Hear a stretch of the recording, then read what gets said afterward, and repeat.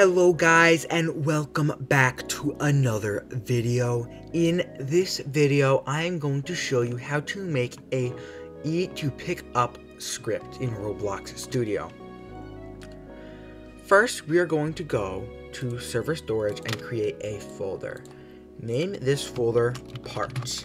This is going to be where we store the tool that you want the player to equip when they click E. Now we're going to go to Toolbox and get the tool that we want the player to equip. We're going to do a gun.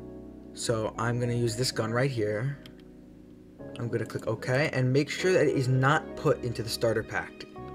So click No and you can move it wherever you want.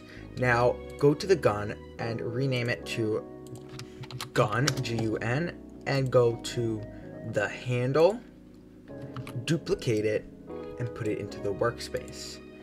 Now in the, the handle, rename it to gun, and take the gun tool and put it into the parts folder.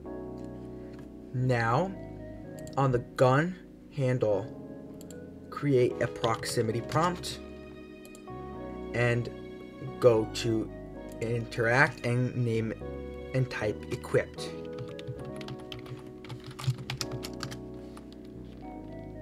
Now make the hold duration one second and insert a script into the proximity prompt. In the script, paste the script I have in the description. What does the script do? It finds the gun in server storage and when the proximity prompt is triggered, it finds the player and if it sees that there's nothing in the player's backpack, it creates a clone of the gun and it puts it into the backpack. Then it creates a clone of the gun again and puts it into starter gear.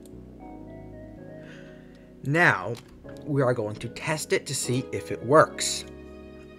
So I'm going to click play, and as you can see, when I join, the gun is right in front of me, and there's the proximity prompt. I click equipped, and it is now in my inventory.